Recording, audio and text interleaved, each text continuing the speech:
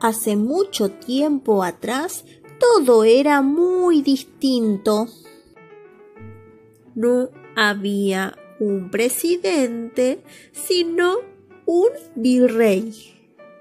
El virrey gobernaba en esos tiempos. El virrey se llamaba Cisnero.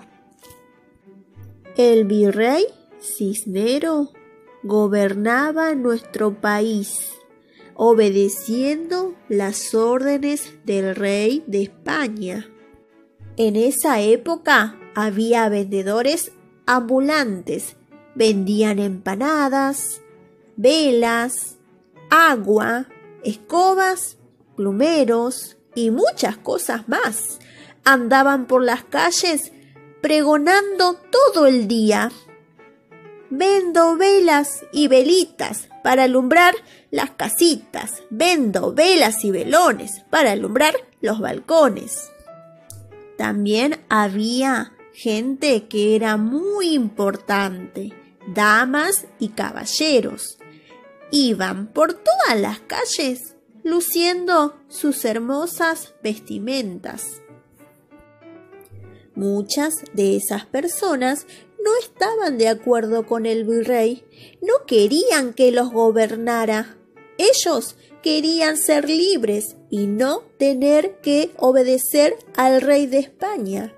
Entonces decidieron organizarse para conseguir lo que realmente querían. Que se vaya el virrey Cisneros.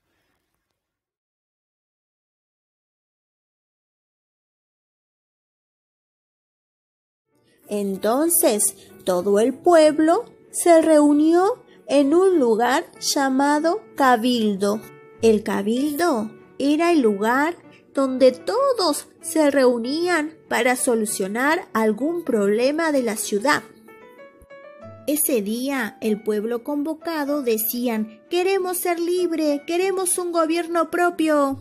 Ese día algunas personas se reunieron en la Plaza Mayor que se encontraba frente al cabildo para ver qué iba a suceder. Entonces el virrey Cisneros no tuvo más remedio que renunciar. El 25 de mayo de 1810, por fin los patriotas salieron a los balcones del cabildo y anunciaron que se había formado el primer gobierno patrio. Ese día todo el pueblo gritaron Libertad, libertad, queremos la libertad. ¡Viva la patria!